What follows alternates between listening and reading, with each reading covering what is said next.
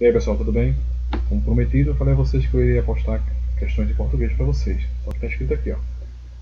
ETEP Português 2021, responda. Ou professores de vocês. Então, eu não vou responder isso. Tá aqui para vocês terem uma ideia. Aqui é um texto, tá? Esse texto aqui.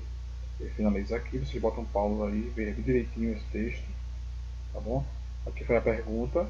Aqui o aluno eh, marcou como errado e aqui embaixo está a resposta certa da questão. Tá? Eu não sei dizer porquê. Então vai ser um vídeo, bem curtinho, tá? Uma vida melhor que a encomenda. Então aqui foi o texto que caiu na prova do ETE. Tá? Aqui também continua o texto. A segunda questão, lá, tem esse texto aqui. Quase não dá para ver. E aqui eu coloquei mais ou menos, para você ter uma ideia mais ou menos como está o desenho. Geralmente repete, né? Aqui embaixo está a resposta, o aluno marcou a resposta correta. Tá bom? Você analisa direitinho isso aí. Mais uma questão. E a outra questão é essa aqui a ilha que não existia, como ela foi parar no Google, Google Earth, né? Então aqui tem o texto, certo?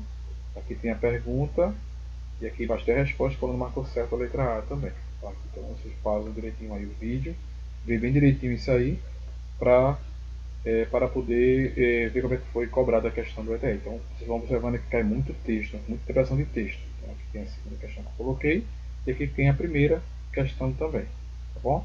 Se vocês gostaram aí, deixa o like, tá? Compartilhar com os amigos de vocês, tá? E até o próximo vídeo aí, se Deus quiser.